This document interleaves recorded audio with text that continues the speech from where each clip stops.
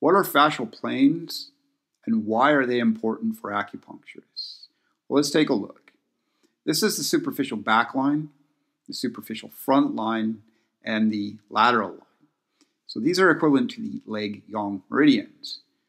The urinary bladder meridian is the superficial back line, the stomach meridian is the superficial front line, and the gallbladder is the lateral line. So these fascial planes show us what muscles are a part of these lines. Now let's take a look at the arm meridians, and we find that the small intestine meridian is on the deep back arm line, and it includes the levator scapulae, the rhomboids, and the large intestine and Sanjiao are on the superficial back arm line, and this is important to understand because the large intestine and Sanjiao meridians share a lot of common functions. The arm yin channels are on the front arm lines, as we see in the image on the right. We can see how the arm yin meridians connect to the pecs and the lats and the biceps.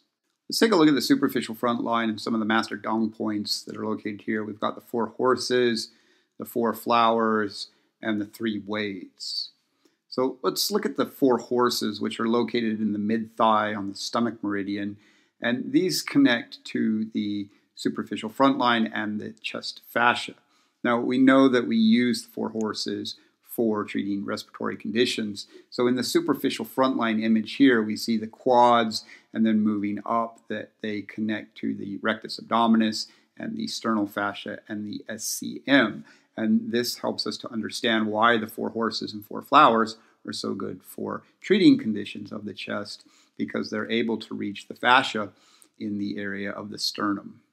So looking closer here, we can see the superficial front line and the quads and the four horses are located on there. Now remember that they also are indicated for breast pain and breast conditions as well as costochondritis. And so when we look at these fascial lines, we can increase our understanding of Tung's points. The images on the right show the superficial front arm line, which is part of the lung meridian and how it connects to pec major. And then the image on the far right shows how the pecs connect to the rectus abdominis and how these converge in the area of the sternum. So this actually gives us a lot of insights into the way in which the four horses work.